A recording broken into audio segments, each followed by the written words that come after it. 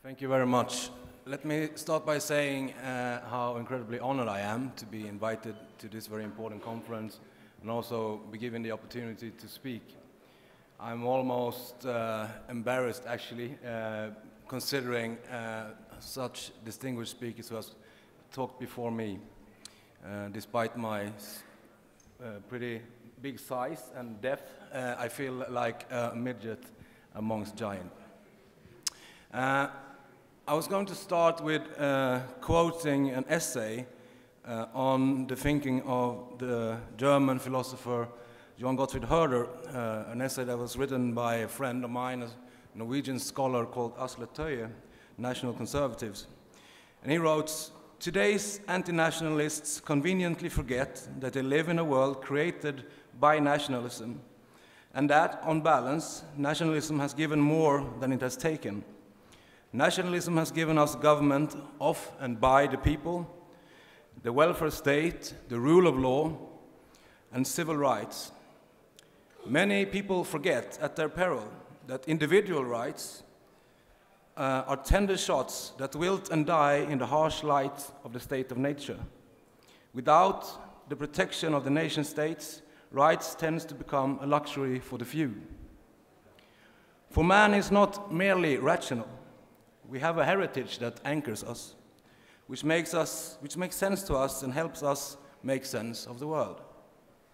The postmodernists sensibly that structures that the worldview of our educated elites may pay eloquent lip service to abstract ideals, but for many individuals, the world that they have created has proven to be a barren, alienating place. For his part, Johann Gottfried Herder saw that those who want to liberate us from tradition, from culture, and from history often only succeed in freeing themselves from their duties towards actual compatriots in favor of a universal humanity that does not exist apart from those who claim to speak on behalf of it. End of quote. uh, like many of the former speakers, I deeply believe that democracy cannot exist without the demos, and that the democracy cannot exist without accountability. And despite this fact, uh, our ruling elites have for several decades tried to build, yes, that democracies without demos, uh, democracies without accountability. In some cases, the results of their efforts uh, the decisions being made by, for example, the European Union is uh, almost tragicomic. When we, we hear about decisions like now, according to the European Jam Directive, carrot is now a berry.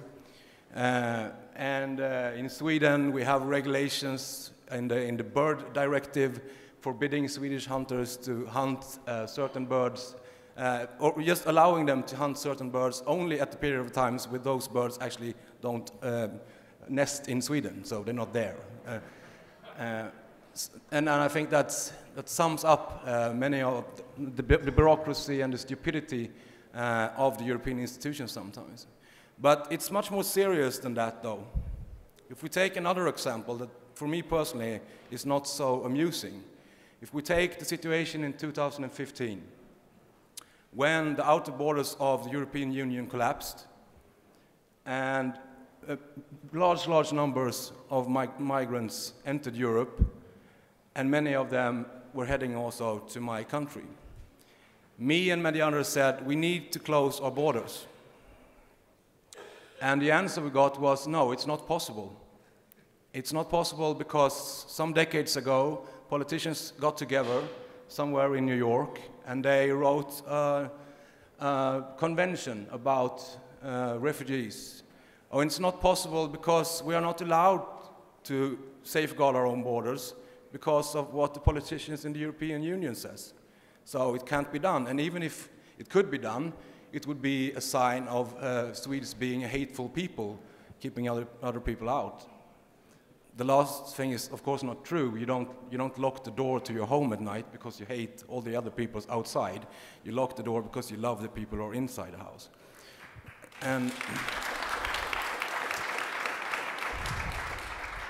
but in any case, uh, the globalists who are running my country relied on globalist documents and papers and decisions, so we opened our borders. And we're a small population of only 10 million people, but uh, we have allowed 1.2 million uh, newcomers uh, the last few years. And the result of this was, when I was growing up, Sweden was one of the safest countries on earth. Now we have a situation where you need to go to Afghanistan to, to find the same level of bomb attacks. You need to go to Mexico to find the same level of hand grenades explosions. Uh, we have a situation now where one out of three young women between 15 and 25 are raped or sexually assaulted every year, meaning that my niece, who is now four years old, in 10 years' time, she will have a 33% risk of being sexually assaulted or raped for every year for a decade. Uh, and that is the consequence of what is happening. We had a, we had a terror attack. Uh, an Islamist who was uh, an illegal alien who came in when we opened the borders, and he killed a lot of people in, in my capital, including an 11 year old girl who was going to buy ice cream. And, but the thing of the matter is, there is a lack of accountability here because Angela Merkel, Guy Verhofstadt, or the other guys who wrote these uh, conventions in New York a few decades ago, they will not sit down with the father of this murdered 11 year old girl like I had and try to comfort him and try to explain how this could happen. They will not take responsibility for this. They will not take responsibility for, for the fact that uh, our economy was in such a bad state because of the influx of all these migrants that we had to withdraw our fundings for helping disabled children that we could not, in some cases, even heat our elderly care centers anymore. Angela Merkel will not be there to explain to the elderly citizens who has worked their whole life, paid taxes, to explain to them why they, they have to freeze at night because there's no money to, to heat the, the, the home where she lives.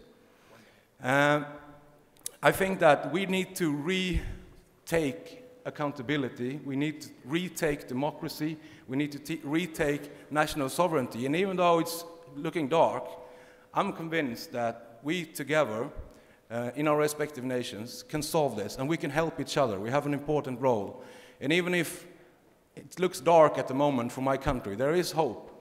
Uh, my party is now the largest party in Sweden in the polls. Uh, thank you.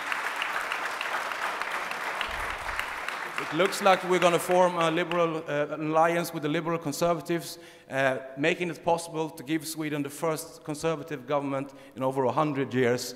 We are seeing that the energy, the passion uh, that used to belong to the left is now on the right. 2015, I think, was our 1968, and we're going to harvest that energy, and I'm very grateful to have good and dear friends that could help us in this process. Thank you very much.